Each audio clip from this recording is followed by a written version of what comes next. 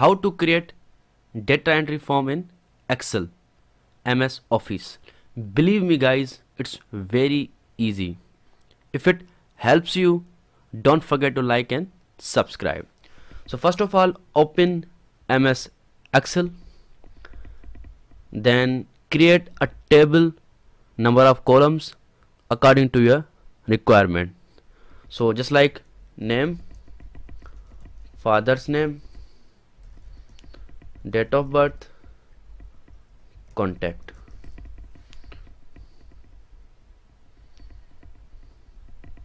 So these are the columns that are required in employees form. It uh, it's all up to your requirement for what you are trying to make data entry form.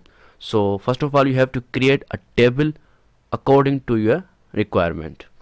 So this is the sample information. The first step was to create a table. Now second step is to create a tab. Just like this is insert tab this is home tab page layout tab these all are the tabs.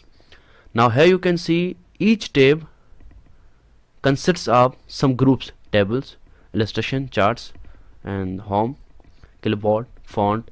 These are the groups and each group consists of some buttons. And these are known as forms. So create a tab then group then form. That's it. Don't worry. Simply watch and follow these steps. It's very easy. So first step was to create a table. Now let's go to the second step to create a tab. How will we do that? Go to the file go to the options click on customize ribbon. Here is a drop down list. Click on it. Click on commands not in the ribbon. Now here are the tabs. Click on new tab here. Then new tab is created. Click on this new tab. Click on this rename button. Right here data entry. Click on ok. So now this tab is created and each tab there is a group just like I mentioned. So click on this group click on rename button right here data entry form. Click on ok. So now we will add a form into it. Search for a form in this list.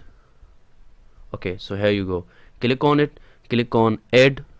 The form is added to this tab. Click on rename button write employees record. Click on ok okay so simply click on ok button now. Just like here you can see data entry form is created. Data entry tab is created. Now select the table that you have already created select the columns. Click on insert tab. Click on table. Then here you can see a check button. My table has headers. Click on it. So this is checked now. Click on ok button. That's it my friend. That's it.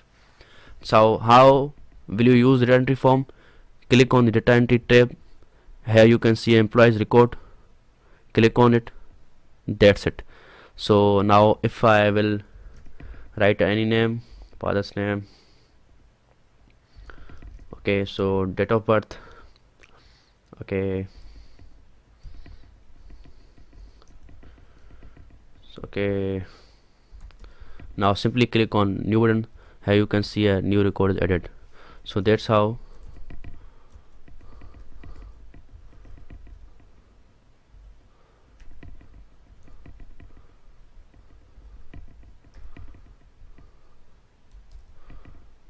that's how you can see. So that's how you can create a data entry form with user interface. You did not need any kind of VBA programming or something else. It was very easy. Now you have to like and comment if it helps you. Thank you and yes don't forget to subscribe